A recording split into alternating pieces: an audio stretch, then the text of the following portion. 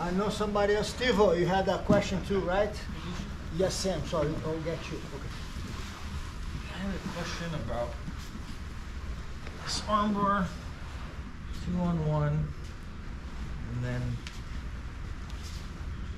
I, I've only done this once. I don't know. There's a detail I'm missing about finishing this. People always seem to wiggle out, or What the do you want? You want armbar hand? Armbar from right From here. there? Yeah.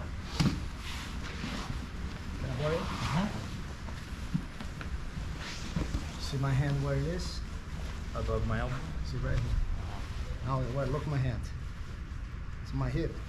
Ah, okay, it's not up. Now, I'm way. here. I'm just doing this. See, I'm holding this way. I'm two one. Nothing happening here. Now look at this. Mm. Can you hold him?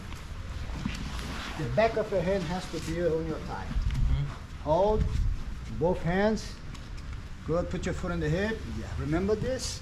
The tension of your hand behind your leg. Mm-hmm. Nice. That leg can go even higher if you want. But yes. See here? Pinch this a little.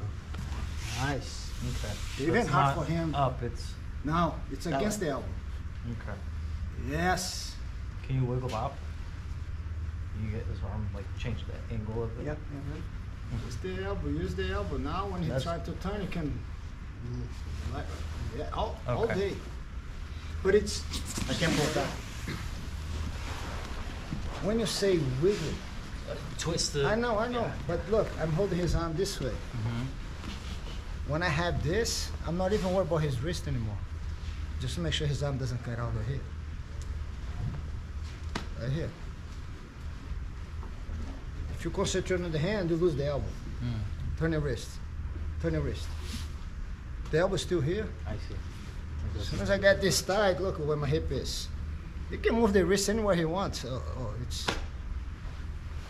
okay. Don't focus on the wrist, because then you lose the elbow. Mm. The elbow is is this motion, a little bit. Okay.